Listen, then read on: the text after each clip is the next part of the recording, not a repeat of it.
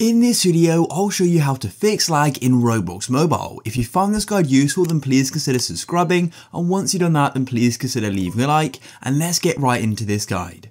So for the first fix, we actually need to be in a game on Roblox, so you can go and launch any Roblox game. And so once you're in the Roblox game, all you need to do is first video and pause the game by pressing on the Roblox icon in the top left, just like this, and then it's going to go and show you people, but what you need to do is go and select settings at the top of your screen, just like so.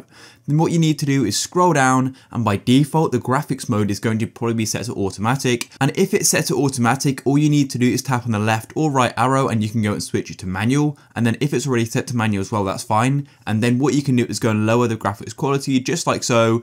If you're experiencing a lot of lag, then go and decrease it all the way down. And so you may want to try and find a balance between the graphics and the performance because of course, if you have really high performance and your graphics may not look as good as they could do, but it's up to you. For the next method, I recommend closing background apps. So you can do this on pretty much all types of mobile devices. Background apps or just apps running in the background is going to go and take up RAM on your phone, which means Roblox can go and use less. So to go and close them, it's really easy. All you need to do is swipe up on your phone on an iPhone. It's quite similar on Android and literally go and swipe up like that to go and close them. It's really easy and it's definitely worth doing that. And as I said before, it's very easy to do on other types of phones as well. And so for the next method, what you need to do is actually go and charge your device. So if we go and look at my phone charge right now on an iPhone, I'll open up my control center just like so.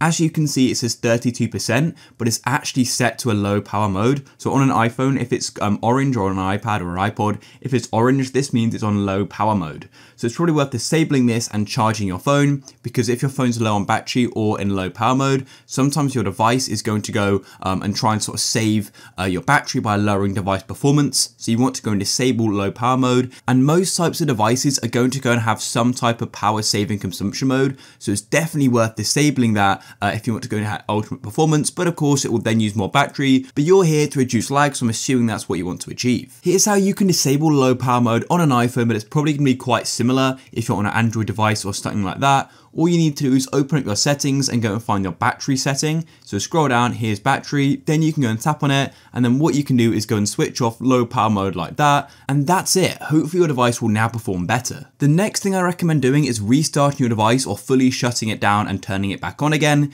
This just goes and deletes sort of temporary files and loads of other things like that. So it's definitely worth doing. To do that on an iPhone, you just need to hold the power button and the increase volume button. It will take a moment. Then all you need to do is slide at the top to power off your device and then it's going to completely power off and you will then need to go and turn it back on after it's going to power off, which will take sort of 10 to 20 seconds. Then just hold the power button and your device will restart. As I said before, uh, that's very similar on all types of mobile devices to go and turn them on and off. And the next thing I recommend doing is just making sure there is some free storage space on your phone. I just find that my phone gets quite laggy if it's really full on storage. So delete some pictures, some apps or whatever if your device is nearly full because sometimes having a bit of extra storage is going to make your phone perform better and that's very easy to do on all types of devices.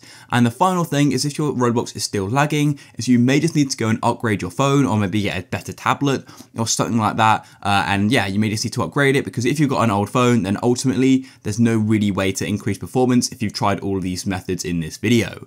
If you found this useful then please consider leaving a like. Peace.